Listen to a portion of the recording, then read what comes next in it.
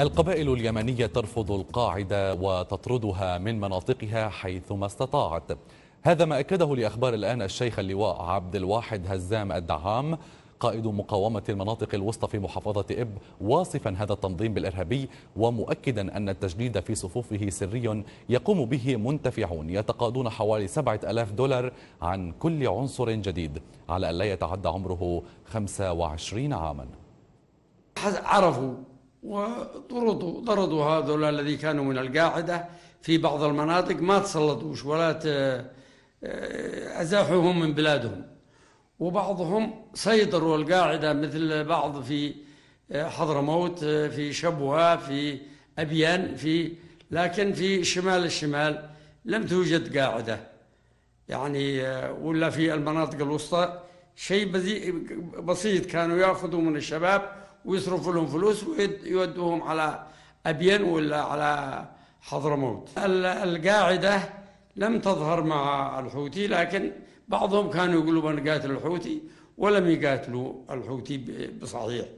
يعني عندهم فكر إنهم يقاتلوا الجيش لأن الجيش بيقاتل إنه يولي الحاكم. القاعدة كذلك أخذوا الفكر من هذا أنه يجند الشخص إلى 25 ومن 25 عاما ما عاد يجندش لأنهم يعبوا التعبئه كاملة.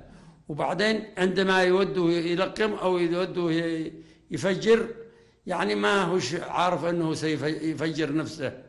هو بيقولوا له احمل هذا معك الحزام ووقف في المكان الفلاني وعندهم بيفجروا بال بالريموت هذا كل قبيلة بتطرد القاعدة من بلادهم لأنه بينتج من داخل البلاد لأنهم بيصرفوا لهم مبالغ من المال.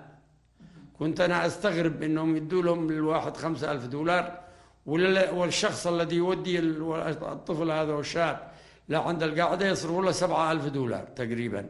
القاعدة تنظيم إرهابي. هذا المدد يوصلهم بالتخفي من لأن اليمن شواطئها كبيرة على البحر 2500 كيلو متر يعني من ميدي من حرض إلى يعني إلى المهر إلى عمان. هذا شاطئ واحد على البحر الأحمر وأيضا وخليج عدن والبحر العربي. فبالتالي السفن وينزلوهم في بعض الشواطئ. القبائل اليمنية نابذ انهم ينبذوهم. بعض القبل يطردوهم من بلادهم ويقول لا لا مكان لك هنا عندنا ابدا. التجنيد. يأخذهم الناس بالسر. يجذبوهم ويعبوهم في الجوامع بعضهم وأخذوهم إلى مقراتهم في في أبين أو في شبوة كانت أو في حضرموت. ينصرنا الله على الحوثي وعلى القاعدة وعلى أعداء الشعب اليمني